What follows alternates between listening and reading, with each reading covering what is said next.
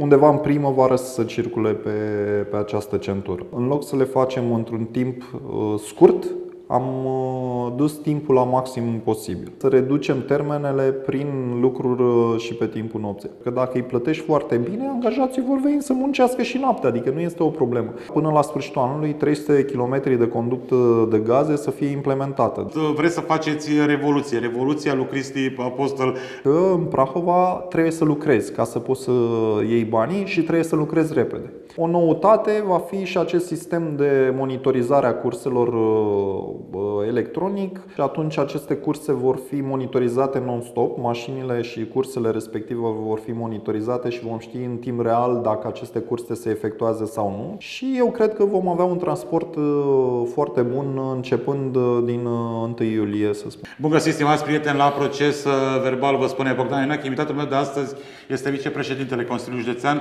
domnul Cristian Apostol. Vă mulțumesc, domnule vicepreședinte. Mulțumesc și eu de invitație. Spuneți-mi, vă rog, percepția publică așa e că nimeni nu mișcă nimic în, în Prahova, mă refer la lucruri importante. Ce se mai întâmplă la primăria Ploiești? Vedem cu toții ce se întâmplă, adică uh, ședințe extraordinare și cam atât. Spuneți-mi, vă rog, la Consiliul Județean, uh, în raport cu promisiunile pe care, uh, care au fost făcute și toate acele emisiuni precedente pe care le-am realizat împreună, unde erau menționate tot felul de lucruri importante pentru prahoveni. Uh, care mai este stadiul? Se întâmplă ceva la Consiliul Județean? Fiindcă și acolo pare a fi o liniște. Uh, ca să poți să ajungi la o finalitate, îți trebuie liniște. Într-adevăr, aveți dreptate, este liniște. Uh, doar că, într-adevăr, și muncim în spate. Uh, lucrurile se apropie cu pași repezi de finalitate și o să vă încep să Vă rog, chiar aștept. Ne, ne spuneați câte ceva că am mai avut emisiuni și atunci era vorba de studii de fezabilitate. Proiecte. Uh, acum am ajuns în altă fază, în faza de execuție.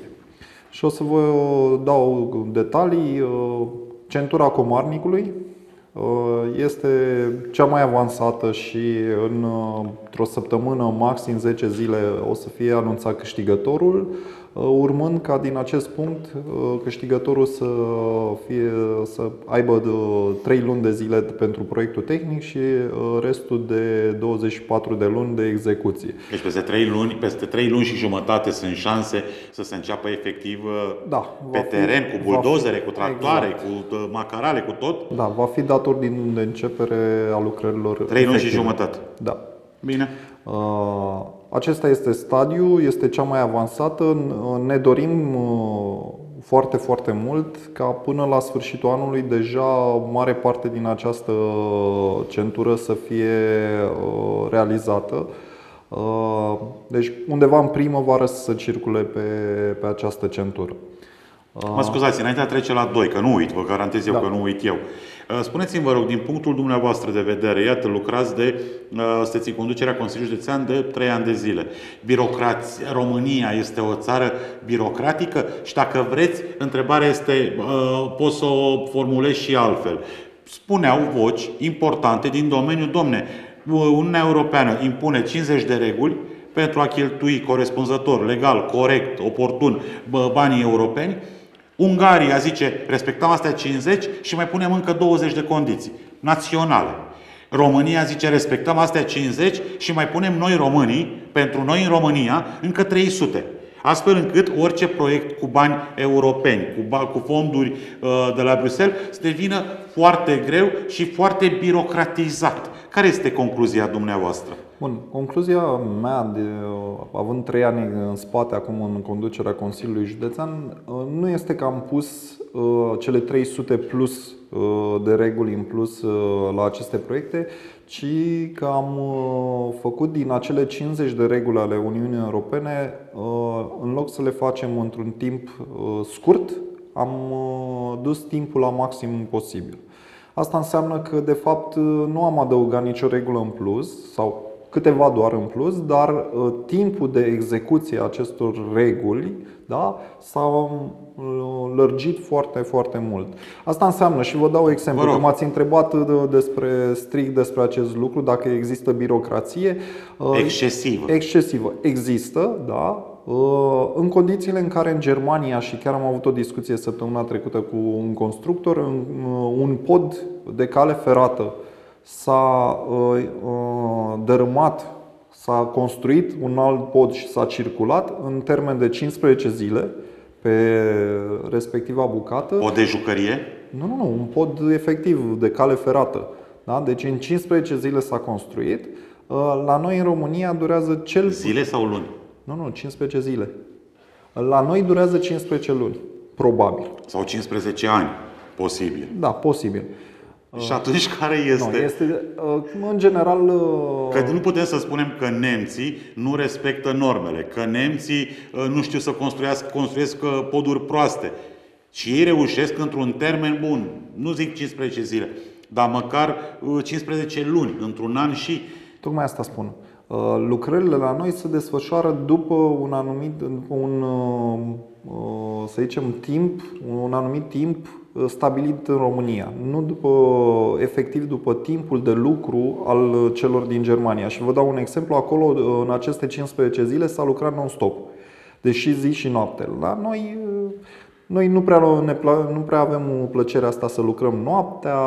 Nu spuneți prea... că de vină sunt constructorii ca să înțelegem foarte clar. Nu neapărat constructorii, pentru că de fapt dacă solicitarea vine din caietul de sarcini uh, să se lucreze și noaptea, constructorul se va adapta pe această solicitare. Într-adevăr, trebuie plătit în plus. Normal. Da? Uh, Dar uh, majoritatea autorităților nu uh, fac acest uh, pas să uh, pună în caietul de sarcini lucrul uh, pe timpul nopții. Consiliul Județean Prahova schimbă puțin, dacă vreți, ob- obiceiurile există, uh, vă gândiți, tocmai pentru confortul nostru, pentru a vedea și noi că se întâmplă, că se realizează ceva, nu că se întâmplă. Vă gândiți, există, vreo, există vreun, uh, vreun proiect unde bă, s-ar impune, unde puteți impune să lucreze și noaptea? Uh, Discuția, inclusiv pe aceste centuri, noi am avut, uh, să zicem așa, o, o discuție preliminară în, în Consiliul Județean ca pentru o micșorarea termenelor, pentru că termenele sunt în general între 16 și 24 de luni pentru aceste centuri, de, vorbesc de termen efectiv de execuție, să mergem și către această variantă, să reducem termenele prin lucruri uh, și pe timpul nopții. Există această uh, discuție, mi se pare de bun simț și mi se pare uh, un beneficiu adus uh, locuitorilor din Prahova Da. și nu numai să lucrăm în, a, în, uh, în zona aceasta. Într-adevăr, constructorii vor trebui să se adapteze și uh, la cerințele noastre. Revenind, ca să înțelegem foarte clar, uh, în România se întâmplă lucruri în 15 luni, mă rog, ca să păstrăm proporțiile, cu exemplu din Germania, din cauza cui concret? E birocrația mare, se poate schimba? uh, Sau cine este? Fiindcă Da. totuși europenii, lucre- nemții lucrează și ei, și cu bani europeni, și cu bani din Germania, bani din bugetul național. Este o, o succesiune de acte normative și avem o succesiune de acte normative și de lucrări unde trebuie să scurtăm termenele.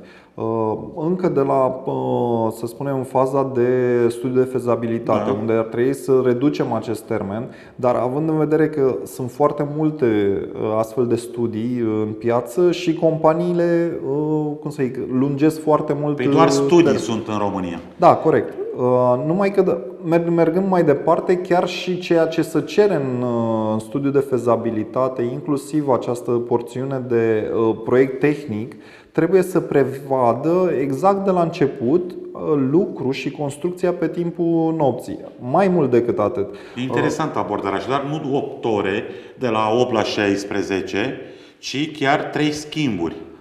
Exact.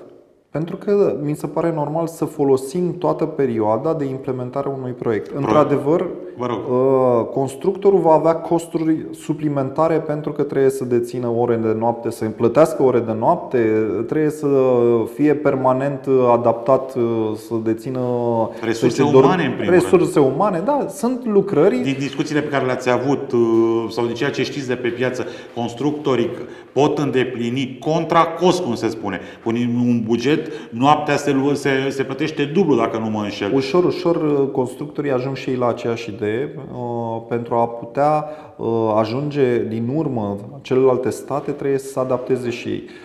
Vedem cu toții ceea ce se întâmplă cu UMB, de exemplu, cu Umbrărescu, care ușor, ușor devine o companie puternică prin faptul că este foarte bine administrată lucrarea, inclusiv de la zona aceasta de cât anume este timpul de lucru efectiv, apoi să zicem relaxarea sau partea de angajaților în timp după ce iese din perioada de lucru, iar o altă altă, o altă metodă de a-ți atrage angajați și de a fi până și plata angajaților este un aspect. Pentru că dacă îi plătești foarte bine, angajații vor veni să muncească și noaptea, adică nu este o problemă. Deci, din acest punct de vedere, eu cred că ușor, ușor evoluăm și noi. La fel de bine trebuie să evoluăm și în alte zone. Vă spuneam de acel pod din Germania. Acel pod din Germania a venit deja ca și structură, uh, uh, cum sunt aceste traverse pentru poduri. Da? Ca la Lego, așa, vii Exact. Cu... Au venit, l-au da, dărâmat pe celălalt, l-au adus pe acesta, l-au montat, au făcut toate conexiunile, probe, probe și au, au pus. În felul acesta trebuie să evoluăm și noi, adică către lucruri mult mai Să ardem etape, că nu mai avem nici timp, nu mai avem nici răbdare, au trecut 30 ceva de ani și lumea cere. Domne, dar, dar apropo de comandic, uh, fiindcă au fost voci, mai ales bun, mai ales din, din PSD. Dom'le, ai cu Comarnicul, lasă-ne, ca și cu neprahovenii. Poate comentați și asta, că sunteți prahovean de asta. Da. Uh, cu neprahovenii din, uh, din conducerea Consiliului Județean. Vi se pare un criteriu, apropo? Nu. Din câte știu eu și din câte cunosc, suntem uh, destui din prahovenii în conducerea Consiliului Județean. Nu, dar domnul Savu să stea pe scaunul dumneavoastră și spunea, domnule, domnul Tudone, doamna Vasile, iată, sunt oameni care nu sunt prahoveni și noi, noi prahovenii, noi nu mai avem prahoveni în Prahova care să facă lucruri. Uh, echipa de conducere este o echipă chiar sudată și care face lucruri. Adică uh, am, am ieșit cu foarte multe proiecte. Uh, acum suntem în faza de a finaliza aceste proiecte și a, a veni către cetățeni cu proiecte finalizate dacă vă spun că se poate construi și altfel. Vă dau exemplu proiectului de gaze de pe Valea Slănicului. Ne-am asumat cu toții ca până la sfârșitul anului 300 km de conductă de gaze să fie implementată. Deja suntem la 50 de km realizați. Deci, și care e secretul? Cum plătiți în plus? Mor constructorii de foame? Evident că nu, nu. este. Acesta. Este o bună colaborare cu constructorul și uh, înțelegerea acestuia că în Prahova trebuie să lucrezi ca să poți să iei banii și trebuie să lucrezi repede.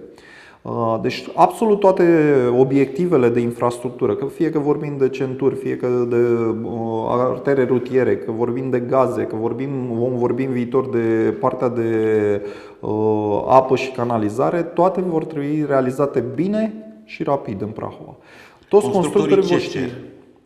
Uh, Ca să lucreze repede, da, repede. Plata la timp a facturilor, ceea ce este un, un lucru foarte important și aici ne-am luat câteva măsuri de siguranță. Dacă ați văzut, uh, votând în Consiliul Județean uh, un credit, un împrumut bancar, prin care noi avem o zonă tampon de cash, așa zisul cash flow, astfel încât din momentul în care un prestator de servicii Uh, trimite factura pe lucrările executate, să nu aștepte până acea hârtie să duce la minister să fie decontată și înapoi, pentru că aici au fost blocajele uh, cu ani în urmă. Constructorii dau salarii, Aștept, rămân fără așteptau bani să... și trag de timp, așa. Exact.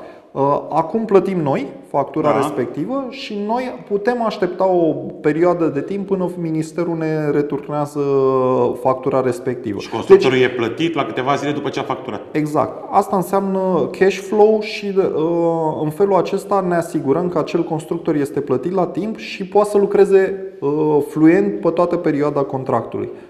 Cam asta cer. Domne, dați-ne bani ca să putem să. Exact. Forță de muncă din Asia, bănuiesc, nu? Uh, nu neapărat. Uh, din câte știu, pe partea de gaze uh, lucrează cu, foarte, cu echipe din diverse puncte ale județului, dar și din afara județului. Sunt, în general, sunt cetățeni din România. Nu? Ați menționat până acum centura Comarnicului și văd că mie îmi place, că eu vă întreb bilunar, lunar, vă mențineți, dumneavoastră cei din concedierea Consiliului Județean, ca anul viitor, în primăvară, în vară, să dați drumul, să se circule, nu să dați drumul, să se circule pe centura Comarnicului, ceea ce ar fi wow pentru o țară întreagă, nu doar pentru prahoveni. Ați menționat mai departe despre alimentarea cu gaze. Da. 50 de kilometri deja făcuți din 300? Da, într-o lună și cred că o săptămână 50 de kilometri realizați efectiv. Păi și cum să poate, domnule vicepreședinte, că eu nu mai înțeleg nici... Adică până acum nu s-a...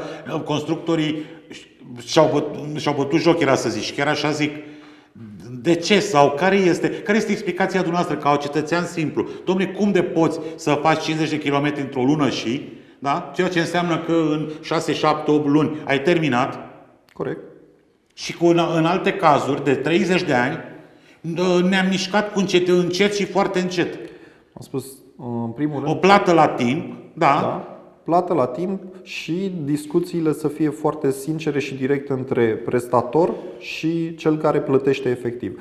În momentul când uh, există finanțarea și plătești la timp, prestatorul știe că are de încasat, se bazează pe acei bani, se bazează pe profitul din acei bani și atunci își face și el uh, un anumit calcul de resurse, un PNL, cum ar veni. Da, nu întârzie salariile, vorba dumneavoastră are și profitul asigurat. Așadar, doar asta au cerut până acum, constru- sau cer cu siguranță constructorii români, ca și ei să țină de cuvânt. Mai este, mai este un aspect, e un aspect tehnic, proiectul să fie foarte bine, uh, din punct de vedere al indicatorilor tehnico-economici, să fie foarte bine realizat. Pentru că dacă el, proiectul tehnico-economic este subdimensionat, dimensionat sau subevaluat, da? Bineînțeles, la un moment dat, uh, prestatorul o să vină și o să spună îmi pare rău, dar nu pot să mai merg, că costurile au crescut. Aici este și eficiența, uh, într-un timp scurt de execuție, el nu poate să-ți vină să-ți ceară mărire de preț. Da? Uh, tocmai de asta și încercăm aceste lucrări mari de infrastructură să le ținem în termene cât mai scurt, Tocmai că să nu avem costuri suplimentare și să începem să lungim discuțiile și să fim cât mai. Uh, Interesant mai... abordarea. Așadar, în, în șapte luni, un an, nu are timp să, se, să explodeze prețul la nu știu ce material de construcție, astfel încât să vină să zică, domne, vreau renegociere că nu mai fac față. Corect. Cu transportul public uh, interjudețean, vorbeam într-o emisiune proces verbal, uh, ați vrut, vreți să faceți revoluție. Revoluția lui Cristi Apostol, mă refer ca și condiție, adică, domne, să fie autobuze, vorbeați la un moment dat și despre autobuze ecologice, da, electrice. Ați mai lăsat din pretenții? Care este? Fiindcă, de fapt, pe mine în cele din urmă mă interesează confortul prahovenilor și, evident, un, un tarif corect și un transport sigur. Da. Nu este revoluția lui Cristi Apostol în niciun caz, este o normalitate adusă în cadrul Consiliului Județean Prahova și în cadrul județului Prahova.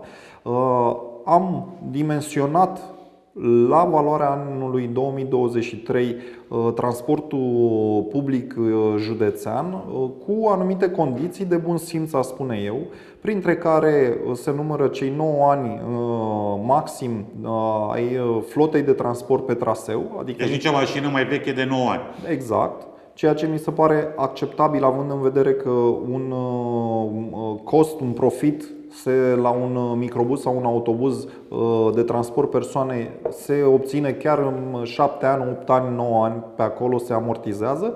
Deci, în mod normal, nu, nu este nicio, n-ar fi nicio problemă în această zonă, uh, precum și alte lucruri. Condiții pentru persoanele cu handicap să, să poată urca în aceste mijloace de transport, ceea ce este prevăzut de lege și era prevăzut de lege, dar neaplicat în Prahova. Uh, la fel, uh, legea spune că un anumit procent din flotă de transport trebuie să fie uh, ecologic. L-am introdus și pe acesta. Adică sunt criterii de bun simț, criterii legale și nu, discuțiile cu operatorii au existat, au fost consultări publice nenumărate, dar am ajuns la un, la un minim, să spunem, de condiții decente unde, de unde nu am mai negociat uh, absolut nimic, nu, nu am vrut să mai discutăm, pentru că nu mi s-a părut în regulă să scot, de exemplu, din această licitație uh, ceva uh, care să îngrădească posibilitatea persoanelor cu handicap să meargă cu transportul public județean. La fel, o noutate va fi și acest sistem de monitorizare a curselor electronic La fel și Cine îl monitorizează? Consiliul Județean. Și cu ce scop? Ca să vedeți unde se află microbuzele prin uh, județ? Da, pentru că avem destul de multe plângeri uh, că nu se efectuează anumite curse și atunci aceste curse vor fi monitorizate non-stop. Mașinile și cursele respective vor fi monitorizate și vom ști în timp real dacă aceste curse se efectuează sau nu, tocmai ca să nu mai există această discuție. La fel și partea de uh, ticketing, partea de abonamente, totul va fi pe o platformă a Consiliului Județean. Nu va mai exista posibilitatea ca operatorul să ia mai mult, să ia mai puțin, totul va fi online. Posibilitatea de a lua uh, bilete online iar există. Adică ușor, ușor ajungem și noi la nivelul anului 2023. Ați simțit că vreo clipă că ați deranjat cu aceste cerințe în transportul public județean? Uh, da, Operatorii nu au fost tocmai fericiți, dar așa cum, după cum le spuneam și lor, eu nu sunt aici ca să fac pe plac operatorilor. Da? Uh, eu sunt uh, în conducerea Consiliului Județean. Cetățenii m-au ales aici tocmai pentru a face ceva pentru cetățean, a asigura un confort și a asigura un transport bun și uh, eficient. Modern și de fapt să fie prietenos. Ca, da. Adică să, să mă urc într-un microbuz inter, să ajung de la Câmpina la Ploiești, fără bă, emoții că o fi curat, nu o fi curat, o, o fi în stare tehnică bună sau nu. Uh, spuneți-mi, vă rog, de când, vom, de când va fi implementat acest proiect la, nivel, uh, la nivelul județului Prahova, microbuze noi, monitorizare din partea Consiliului Județean, ticketing-ul, absolut tot? Licitația este deja în curs pe SEAP. Termenul de depunere a ofertelor este uh, maxim, termenul maxim este 30 mai, ora 15, cred. Deci anul acesta, da? Uh, da, da. Din, uh, eu aștept cât mai mulți operatori să participe la, aceste, la această licitație și eu cred că vom avea un transport foarte bun începând din 1 iulie, să spunem. Anul acesta? Da. Așa repede? Păi de unde își, când își comandă ei autobuzele? Sau uh, cum este? Nu. Licitația este uh, la momentul depunerii ofertelor, ei vor, uh, vor trebui să dețină în proprietate sau să dețină un contract de leasing uh, pe autovehiculele respective. Noi, acestea noi. Acestea noi.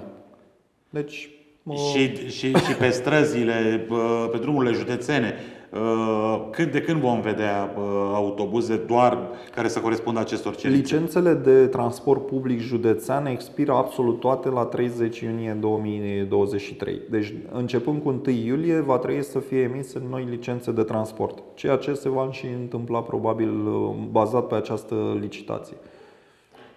Așadar, din toamnă, vom, sau din iulie vom vedea uh, autobuze, microbuze mai ales. Apropo, autobuze microbuze sau și autobuze și microbuze? Adică este o discuție aici. Sunt foarte mulți ploieșteni care sunt deranjați. Doamne, intră uh, transportatorii care interjudețeni cu, cu autobuzele în oraș, opresc în stații.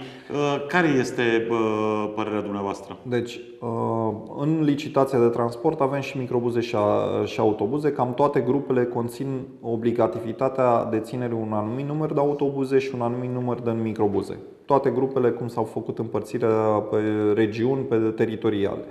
Uh, nu cred că există o problemă la această oră cu uh, partea de microbuze și autobuze în interiorul orașului municipiului Ploiești. De ce? Pentru că prin lege uh, municipiul Ploiești, în speță Consiliul Local și Primăria, trebuie să asigure o autogară pe teritoriul da. municipiului și o stație cât mai apropiată de ieșirea către traseul respectiv. Deci acestea sunt două solicitări. Uh, noi am avut o discuție inclusiv cu primăria Ploiești prin care le-am făcut această solicitări uh, de a asigura această autogară și uh, o stație pe traseu la ieșirea din, din oraș.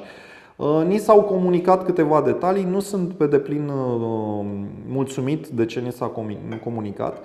Uh, și vă spun de ce. Uh, știți prea bine situația autogărilor din Ploiești, care uh, ele există, dar lipsesc cu desăvârșire. Da?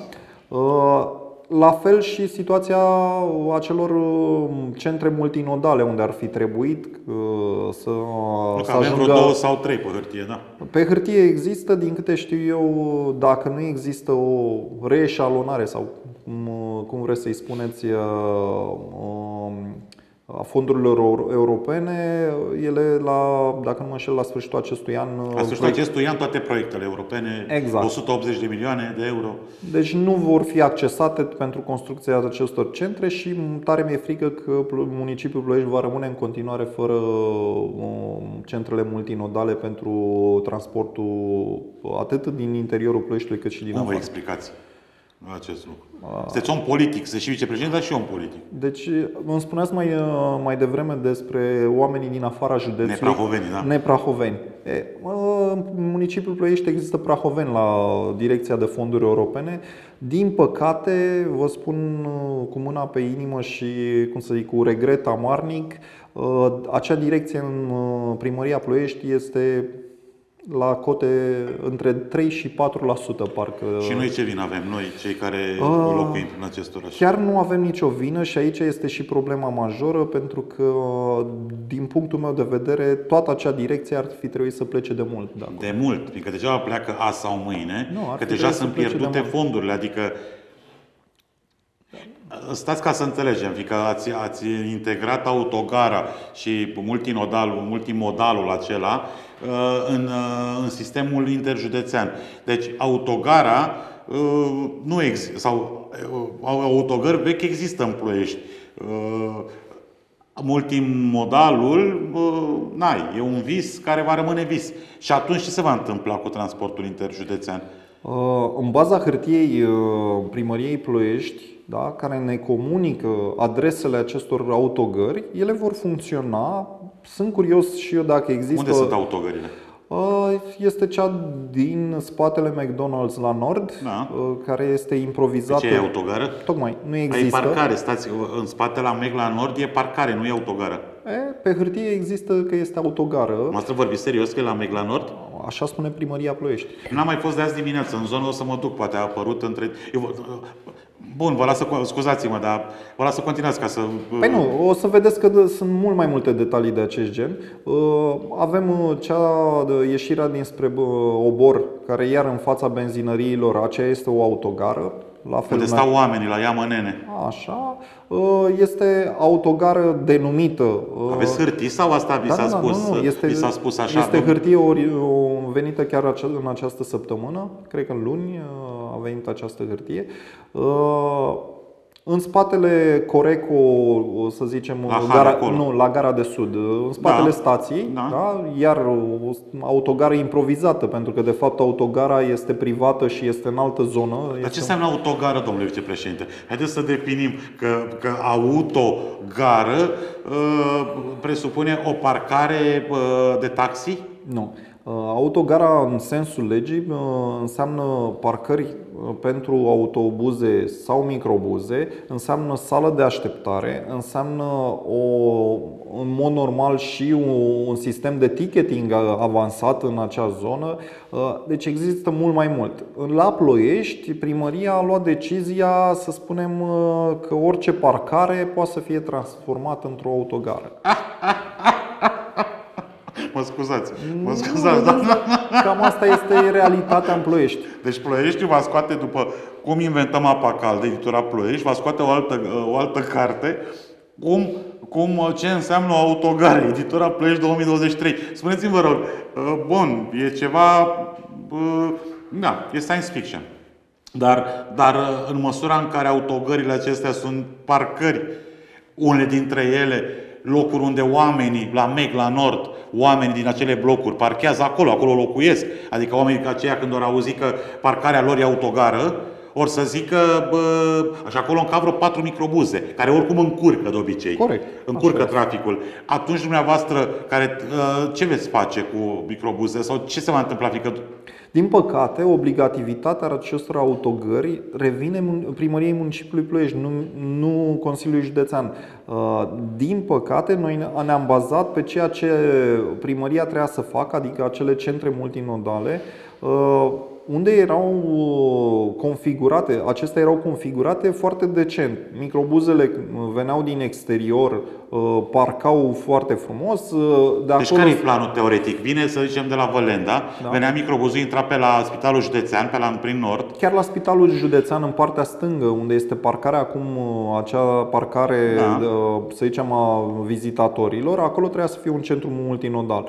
Acolo trebuia să fie parcat uh, microbuzul, autobuzele, iar tot transportul din interior să fie tot în, în acea zonă, să intre tot în acea zonă, astfel încât călătorul să dă jos dintr-un microbuz și să urcă în tramvai, în, sau, tramvai autobuz. sau în autobuz. Deci nu mai intra autocarul sau microbuzul, nu mai intra Exact. Un... Această zonă de a intra în oraș a venit din, dintr-o necesitate și dintr-o să zicem... Uh, din lipsa autogărilor din până lipsa acum. Un, Dar acum dacă s-au rezolvat în spate la Mex și la Coreco și la astea sunt autogări și nu le vedem, azi le vedem și nu e uh, și nu sunt, nu e autogara. Uh, atunci e evident că avem o problemă. Spuneți-mi, vă rog, și atunci ce se va întâmpla de la 1 iulie? Nu, vor funcționa aceleași autogări ca și până acum. V-am spus zonele. Și puteți face ceva sau noi am făcut hârtie către primăria Ploiești da. să ne spună stadiul realizării centrelor și? multinodale. Din păcate, efectiv este 3-4% uh, proiectul din proiect uh, realizat până la acest moment. Vă încurcă? Uh, bineînțeles că ne încurcă. Pentru că ne bazam pe acele centre tocmai ca să avem un transport foarte performant și foarte normal, să zic. Și cum că a făcut? O lași la marginea orașului, omul la tramvaiul sau autobuzul, s-a dus, vrea să plece înapoi la Văleni, să duce la bă, Spitalul Județean, la multimodal, multimodalul ăla uh, și să urcă în microbuz și... Acestea erau dimensionate pe toate ieșirile din, din Ploiești. Din păcate, uh, conducerea primăriei Ploiești, să spunem așa de plastic vorbind, nu a considerat că acest, aceste obiective sunt de interes uh, local al municipiului Ploiești și faptul că aceste microbuze intră pe o anumită uh, distanță în interiorul Ploieștiului li se datorează. Pentru că dacă făceam aceste centre, ele rămâneau oarecum la marginea orașului. Așa, toate aceste uh, linii, conform legii, vor intra până la autogări. Eu am mai spus, Uh, degeaba ne plângem de poluare dacă nu facem nimic în sensul de a scoate această poluare din uh, interiorul orașului. Uh, da, noi încercăm să aducem flotă cât mai verde, cât mai performantă, dar faptul că le aduc aproape de centru, iar nu, nu e eficient. Spuneți-vă, rog, microbuzele și autobuzele care vor circula uh, pe aceste trasee interjudețene sunt obligate să aibă aer condiționat vara și căldură iarna? Da, există în, în cadrul licitației unul din uh, puncte este exact pentru aer condiționat și pentru încălzire.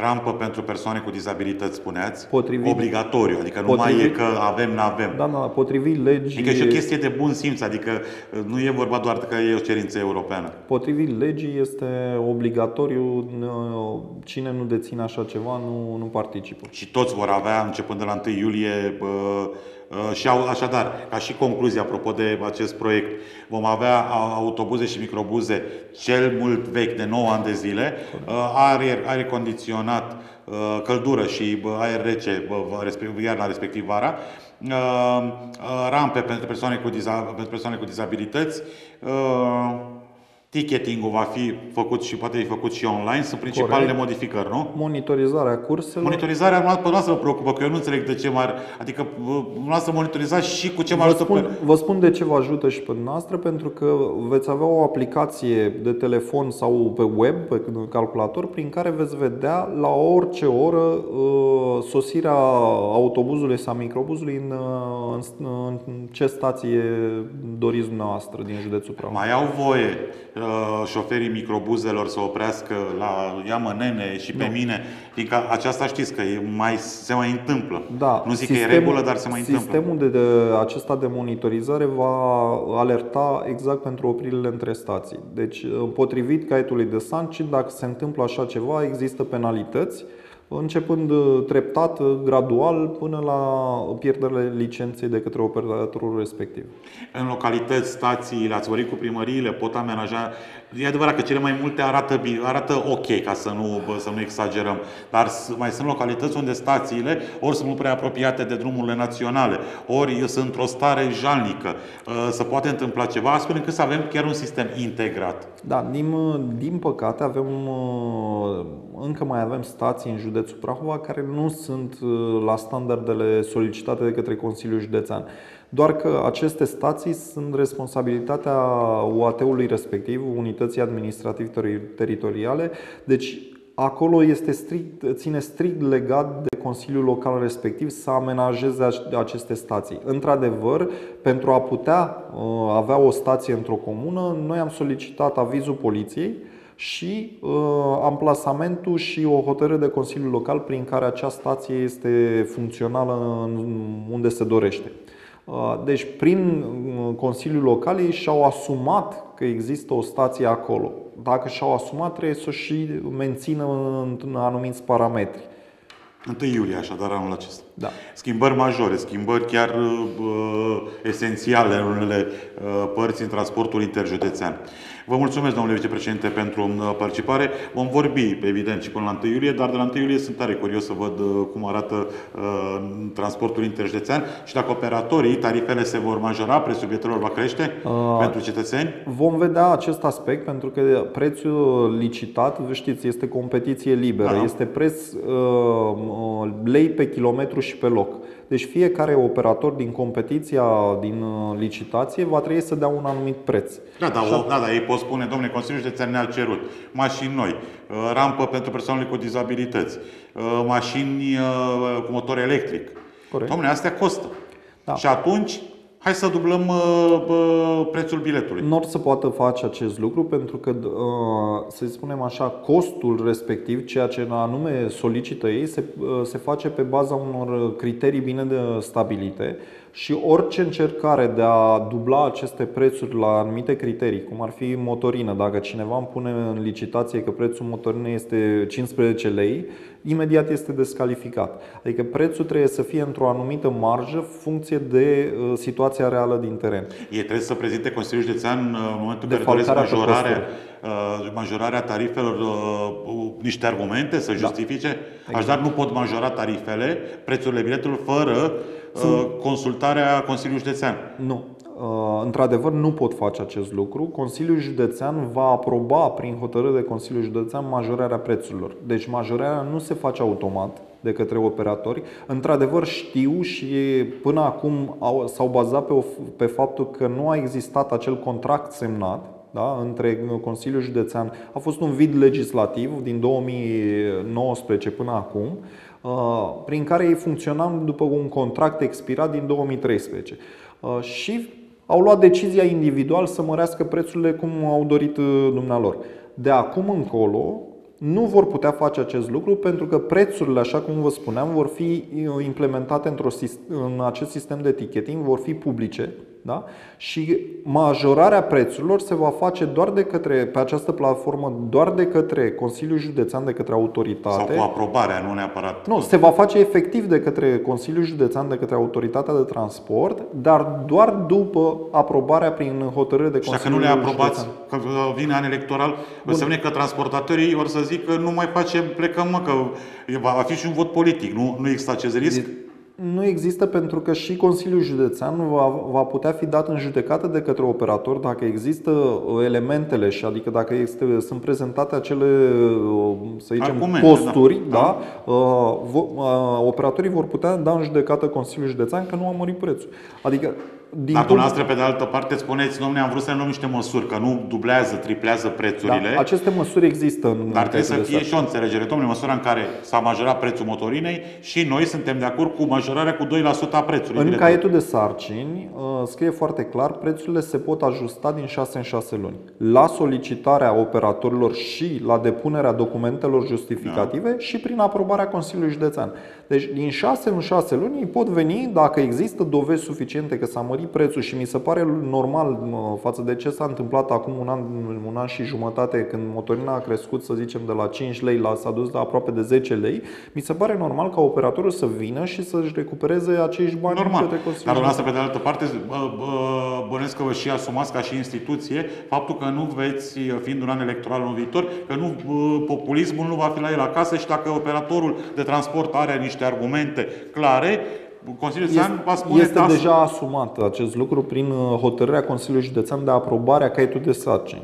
Deci în caietul de sarcini există așa ceva. Să face lumină în acest, în, în acest domeniu al transportului interjudețean, adică transparență, uh, calitate și pe de altă parte, pe mine mă foarte tare pentru prahoveni, ideea să, să circulăm în condiții, să fie un transport public interjudețean prietenos, ca să ne putem urca fără emoții și pe de altă parte și un preț corect, fiindcă și operatorii trebuie să câștige, că de-aia vin la licitație. Corect. Vă mulțumesc, domnule vicepreședinte, pentru participare, vă doresc uh, succes și ne vom reîntâlni. O seară bună în continuare. Numai bine. Aici punem punct în această seară emisiunii Proces Verbal. Vă mulțumesc, dragi prieteni, pentru atenție. Rămâneți sănătoși.